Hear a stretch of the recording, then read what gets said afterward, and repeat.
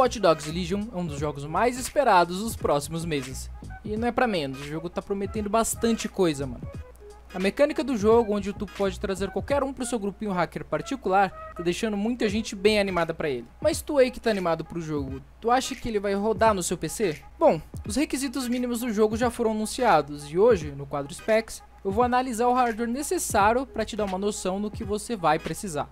É, só lembrando que esse quadro não vai te ensinar a rodar o jogo no seu computador. Aqui vamos te dar uma visão ou ali uma noção do que você vai precisar para que ele rode sem ter que fazer muitas gambiarras. Mas se tu é dos meus e o vídeo de Watch Dogs Legion já tiver saído aqui no canal, vou deixar um card aqui em cima para você ver o passo a passo para fazer o Watch Dogs Legion rodar. Tem uma torradeira, isso não é piada. Quem conhece o quadro Beats tá ligado. A gente faz mágica naquele quadro, tá? Então dá uma passadinha lá. É sério, é muito bom. E começando pelo processador, o processador recomendado é o Intel Core i5 4460, uma AMD Ryzen 5400. E esse talvez seja o hardware mais exigente que eu já anunciei aqui no canal. O Intel Core i5 é de quarta geração, mas o Ryzen é um processador bem mais recente. Esse Ryzen não é tão parrudo, ele tem seus 4 núcleos e um clock base de 3.2 GHz. Nos vídeos anteriores talvez eu dissesse que um FX 6300 desse conta, hoje eu diria que levando em conta os hardwares da AMD, talvez apenas um FX 8300 para cima dê conta realmente de entregar um desempenho aceitável. Já no lado azul da força, falando da Intel, o i5 citado é de quarta geração. Levando em conta que a evolução entre a quarta geração e a quinta geração dos processadores da Intel não foram tão significativos assim, temos a mesma margem para quem possui um i5 de quinta geração. Isso muda apenas na sexta geração, onde o i3 pode, ou que parece, dar conta do recado. Então, se você tem um i3 de quarta, quinta ou terceira geração, é, talvez ele não rode, tá? Talvez ele fique para trás nessa aí. Só lembrando que os processadores de notebook são bem mais fracos que os desktop. Isso significa que as informações podem não se aplicar aí à sua máquina.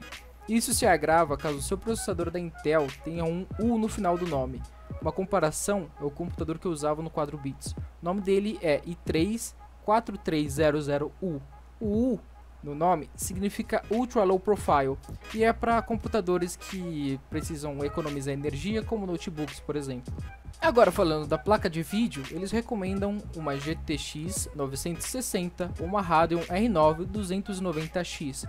Essas placas, olhando para o mais comum atualmente, tem uma capacidade mais ou menos equivalente a uma GTX 1050 ou uma GTX 1650 da Nvidia, que por fim é equivalente a uma RX 460 ou uma RX 560 da AMD.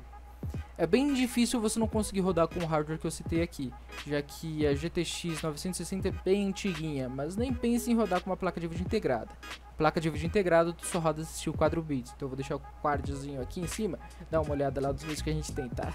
É, merchan aqui do próprio canal, está maravilhoso. Só fazendo um adendo, essas especificações são da própria desenvolvedora, então pode ser que represente o que eles acreditam que seja o ideal para o jogo. Talvez você consiga rodar com hardware mais simples, mas o que eu estou citando aqui são os ideais.